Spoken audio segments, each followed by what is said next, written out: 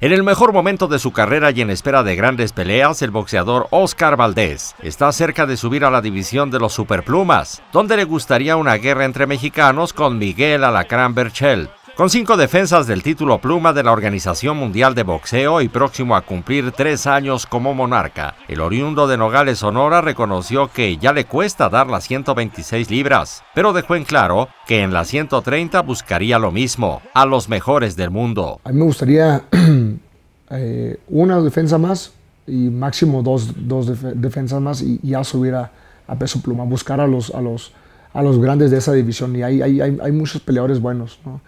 Nosotros estamos buscando los mejores. Eh, está la Cran Bechet, está eh, Davis, eh, Machado de Puerto Rico. Hay, hay muchos boxeadores ahí afuera que, y buenas peleas que se pueden hacer, pero eh, nosotros lo que sí dejamos en claro es que no tenemos miedo a enfrentarnos a nadie.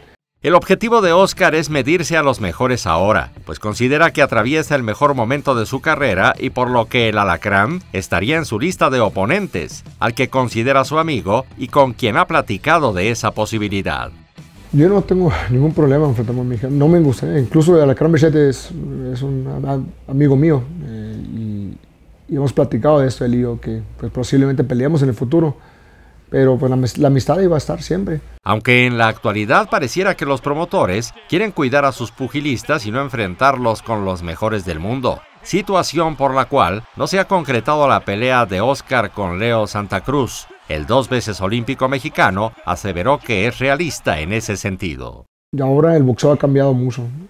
Se, ha vuelto muy eh, mucha política en el boxeo. Ya las televisores dominan, eh, los promotores quieren eh, tener sus campeones con ellos nomás y, enfrentarlos entre, entre su grupito.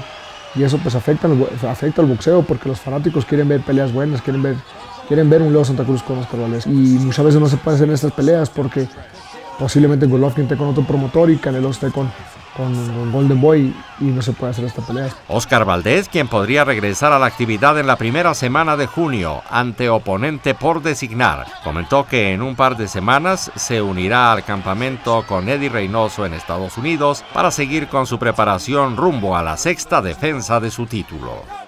Con información de David Torres González e imágenes de José Luis Leone, Notimex.